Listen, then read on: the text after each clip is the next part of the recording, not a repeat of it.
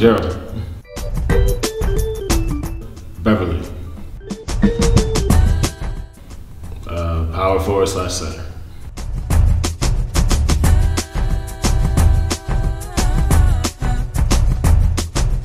I, I haven't gotten to travel when I first. I've seen a little bit and I like it a lot so far, but I'm excited when we get back from training camp to really explore the city and see the sights and um, go out and meet fans and meet, just see what everything the city has to offer.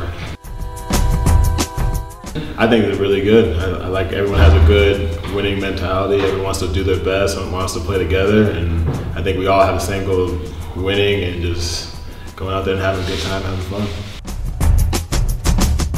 I think we're going to play well as long as we play together and everyone learns each other's tendencies and we grow together as a team and um, we put every, our one foot forward every day and just keep practicing and get better. I think we'll be a great squad.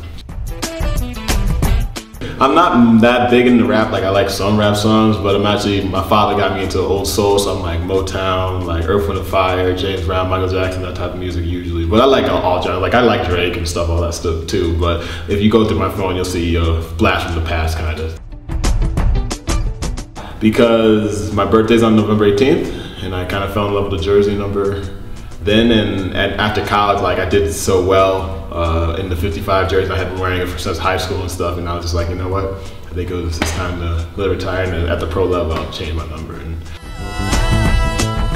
yeah, I work out. I work out in the summer probably every single day, like some weekends. Um, like, I mean, I guess.